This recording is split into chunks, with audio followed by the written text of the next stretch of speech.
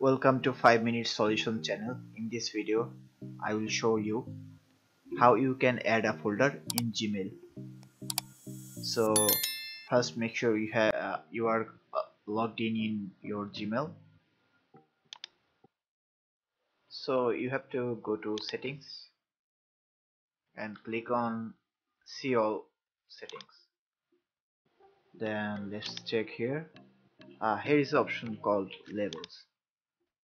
So in gmail basically a folder is labels. So scroll down and you can create custom labels. So I'm gonna type a label name which is finance. And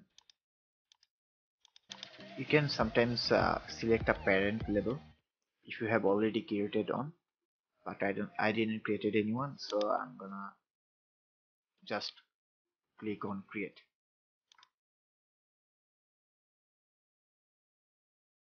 Oh so here uh, it is saying sorry you can create a label name finance because you know uh, already there is a label uh, from Google itself that is finance so let's uh, try something else. Let's type YouTube.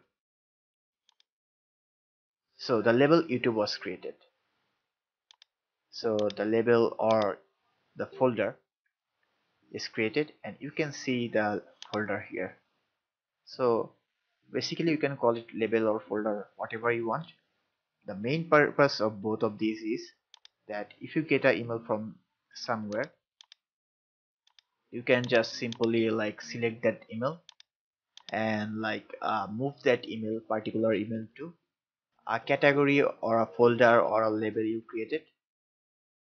So you can put uh, your that email in those categories or labels. So for example in this youtube label i can simply just uh, get uh, click all the youtube email select all the youtube email and move them in this level. So when I like browse Gmail I can easily access the YouTube mails. So that's how you add a folder in Google I mean Gmail. And if you want more contents like this then like comment and subscribe. And thank you very much for watching this video